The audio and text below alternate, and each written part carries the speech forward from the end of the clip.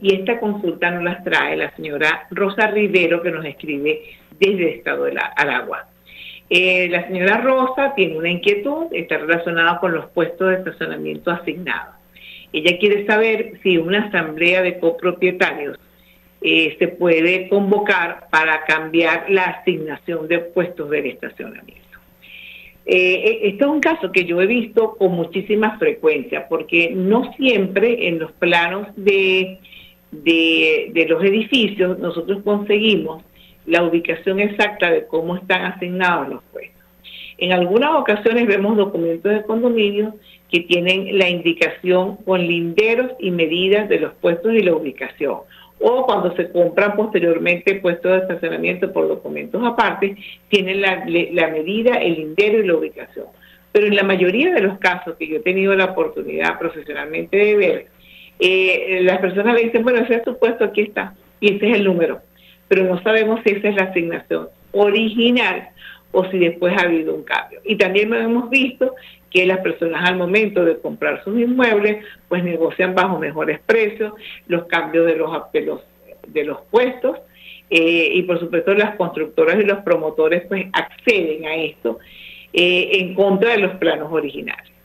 Eh, yo mm, le sugiero a la señora Rosa que trate de buscar los planos de los estacionamientos que deberían estar agregados a los cuadernos de comprobantes en la oficina subalterna del registro público o también deberían de estar en las alcaldías eh, que otorgan los permisos de construcción y de habitabilidad.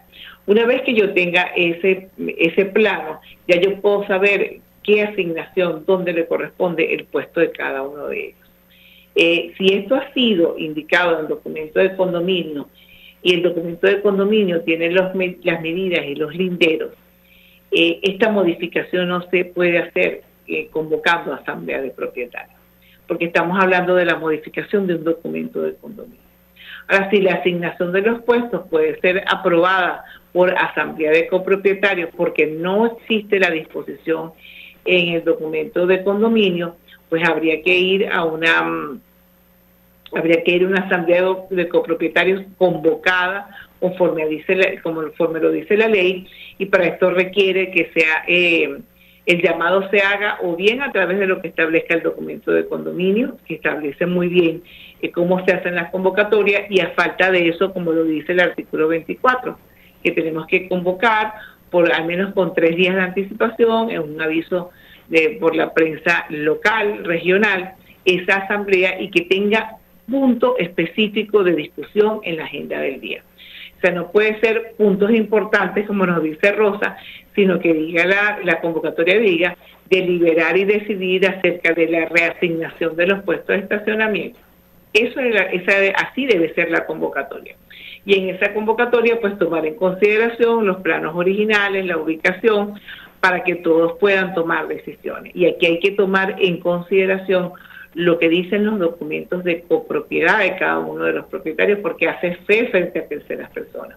El documento de condominio, los documentos de propiedad, los planos en el registro. Esto es, eh, es fundamental para poder tomar una decisión.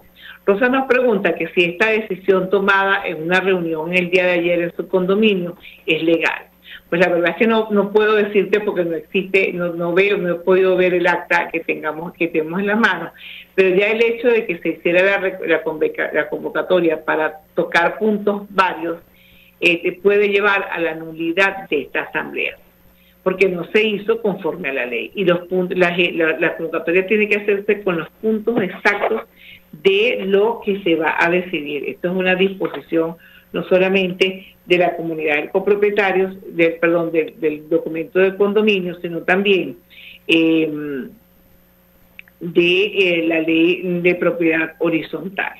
Eso es muy importante hacerlo. Así que, bueno, Rosa, a revisar un poquito, solicita eh, copia del acta levantada en esa asamblea para poder conocer en qué términos se realizó la, la deliberación qué decisión tomaron, con qué porcentaje y así poderte informar si realmente esta decisión está tomada de acuerdo a los preceptos legales o hay la posibilidad de pedir su, eh, de pedir su nulidad. Y para eso tienes 30 días contados a partir de la fecha en que se te haya notificado la decisión. Y esto es, eh, vale la pena que, que hagamos, recalquemos eso. ¿Por qué? Porque el lapso para impugnar se da a partir o de bien que la asamblea se haya realizado y la persona esté presente, o a partir de la fecha en que el copropietario que se sienta afectado ha sido notificado de esa decisión. Es ese momento en que empiezan a contar esos 30 días de los cuales habla la ley. Así que bueno, esperaremos eh, que nos responda eh, cómo estuvo esta decisión tomada para poderte brindar la asesoría que te falta.